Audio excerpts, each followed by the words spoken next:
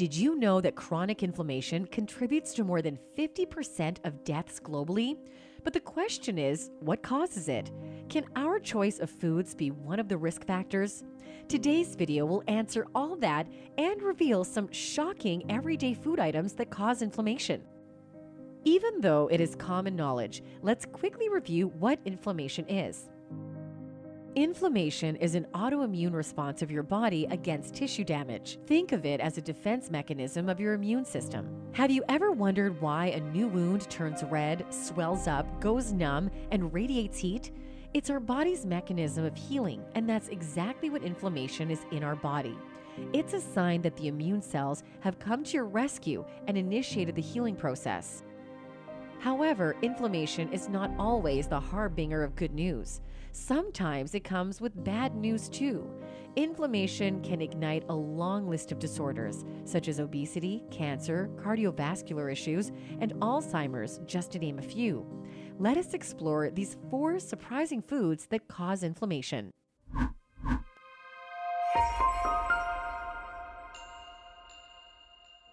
Number one, first on our list is vegetable oil.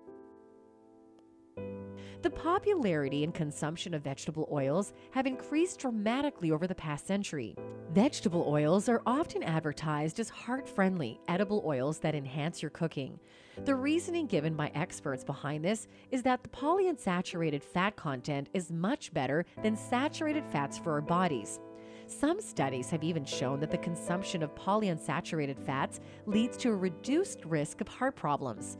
In theory, vegetable oil should be a better cooking option, especially better than butter, which is infamous for its high fat content. But if vegetable oils are so healthy, how did they end up on our list? There are two main reasons. First, researchers are worried about how much of these oils people consume daily. Since too much of anything is bad, we should not overconsume vegetable oils. The amount of oil you need each day is different for everyone. The average adult needs about 2,000 calories per day. In a 2,000 calorie diet, women can have 5 to 6 teaspoons of oil a day, and men can have 6 to 7 teaspoons. Another reason is that some vegetable oils have imbalanced ratios of omega 6 to omega 3 fatty acids in their respective compositions, which can harm your body.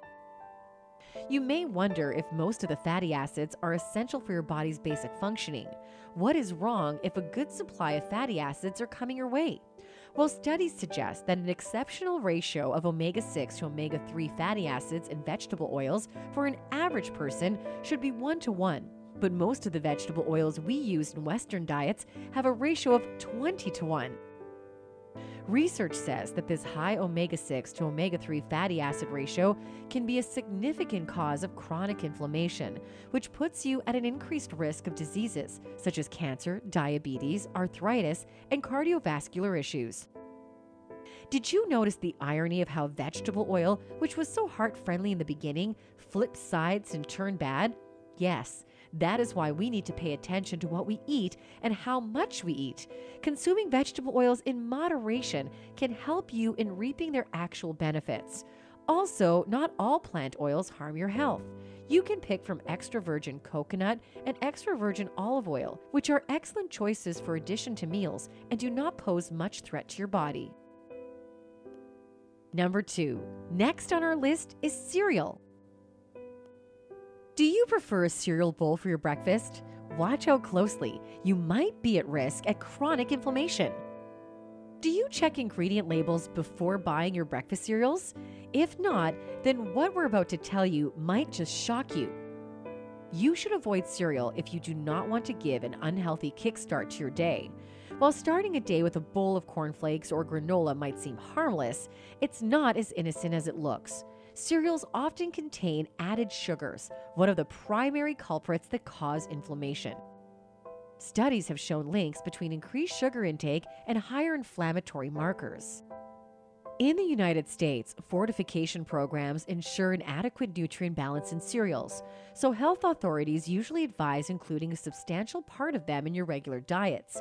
But cereals often contain wheat, one of the most consumed cereal grains worldwide, comprising a few anti nutrients such as wheat gluten and wheat lectin, which are responsible for inducing inflammation. In the long term, this can lead to organ dysfunctions and might develop into severe disorders. So, the next time you go grocery shopping, make sure to check the labels and, if possible, avoid cereal altogether. You can substitute it with grain free cereal and find the one with no added sugar. Number three, third on our list are artificial sweeteners. Sugary treats are undoubtedly the most desired foods, but their damaging effect on our bodies is equally enormous. This is why most of us who wish to lead a healthy life cut down on sugar consumption and try to make a switch to sugar free food items. We often trade our usual Coke with sugar free Diet Coke or use an artificial sweetener in our coffees instead of topping them with actual sugar. This way, you enjoy the sweetness without actually having to eat sugar. Everything seems to be perfect, isn't it? But here's the twist the sugar free claim might seem enticing, but should not be taken at face value. These sugar free products contain aspartame, an artificial sweetener used in place of sugar. Although it might successfully cut down your sugar intake, it increases your risk of chronic inflammation. Studies have shown that despite being flagged as safe to consume by the Food and Drug Administration, FDA, aspartame is known to influence inflammation pathways, which might lead to chronic inflammation in the long run. This makes this odorless white and non nutritive powder controversial in the scientific community. Some studies suggest that relying on aspartame for a long time might trigger many inflammatory diseases, such as cancer, attention deficit hyperactivity disorder, or ADHD, type 2 diabetes, heart disease, hypertension, Alzheimer's, and multiple sclerosis. Those who are on medications for schizophrenia, a neurodegenerative disorder that hampers one's ability to process things, should avoid using aspartame and consult their doctors for alternative options. Number four, and lastly, we have flavored sparkling water on our list. You may have swapped sparkling water for sports drinks and sodas in the hope of upscaling efforts to meet your hydration goals, but it turns out that it wasn't as good of an idea as you assumed it to be. Even though flavored water is a better alternative to harmful sodas, it still contains added sugars, artificial sweeteners, and other additives, which have significant risk factors that cause chronic inflammation. Studies have shown that increased sugar consumption enhances your inflammatory responses, and you will likely experience low grade inflammation, leading to cardiovascular problems and other comorbidities. Research also suggests that they significantly enhance the production of inflammatory markers that amplify the issue to a greater extent. Even if some product companies skip the sugar, they add aspartame to their product as an artificial sweetener, and the risks still remain. Studies have shown that aspartame can trigger chronic inflammation, and if consumed in large quantities, it could adversely affect your health. Some studies claim sparkling water can be a bit harsh on your tummy and may cause minor side effects like bloating, stomach pain, excessive burping, and gas problems. This is often blamed on the carbonated content of the drink. However, there is little evidence in support of that claim, and it's been said that only a consumption exceeding 300 milliliters of this carbonated fluid might be able to impact your gastric health.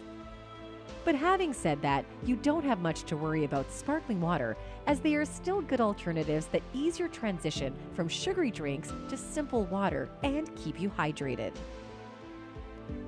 Inflammation is a part of your body's natural healing process and is extremely normal, but the real concern arises when we eat too many inflammatory foods, which triggers low grade chronic inflammation. If we keep feeding our bodies such foods, this can cause irreversible damage and lead to severe health repercussions. So please make an informed decision when adding these foods to your diet. Want to know more about health issues? Subscribe to our channel and let us know your thoughts in the comments below.